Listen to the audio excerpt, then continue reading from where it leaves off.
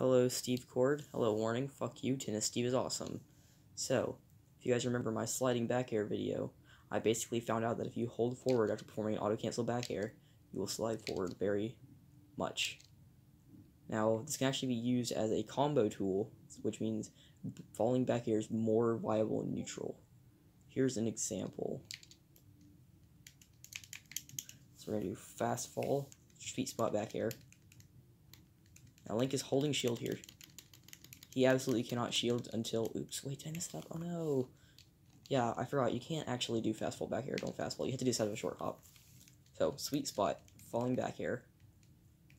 And we're going to turn around, slide, and this is not a combo, sadly enough. This is a frame trap, where if they shield, you will land a grab. And you're Steve. You should do about 70, 60, 40 off this, at worst. Another thing you can do is, if you hit the sour spot, you can actually combo into grab. So, basically, they have to guess whether or not you're going to grab after you hit the back air based on which hitbox they get hit by. I would recommend doing this by checking the damage and not, you know, the actual hitbox. It's kind of hard to tell during gameplay. So, what else can you do out of falling back air? Oh, oops, that was a full hop. So what you can't, what you can do is you can do falling back air, and slide, and start jab pressuring. Now, obviously, once again, this is not true. Uh, even with sweet spot, or sorry, even with the sour spot, this isn't true. Whereas sour spot grab is true. So, what you want to do is you can also mix this up by doing sour spot. This is even a sliding combo. I said, what the? Oh. Okay.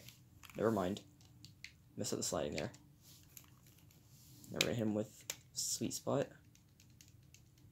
And instead of he's going to shield because he thinks a jab is coming. We're going to walk in, up tilt. You're minus one here. And that's to give you a small idea of how exactly to use sliding back air mix-ups neutral. So once again, you if you hit the sweet spot, you can combo it into grab, which is incredible. Or sorry, sour spot. It goes into grab, which is really good. If you hit any other hitbox, start applying shield mix-ups like grab, like jab, and oops, that was forward air. Like up tilt. Oh, speaking of forward air, you can do this. Oops, wait. You can slide after a forward air in the opposite direction. But I don't, it's kind of useless and also really hard. Yeah, I don't recommend ever doing this. You kind of do like a really far retreating forward air. I don't know, maybe someone else can land this out. Thanks for watching.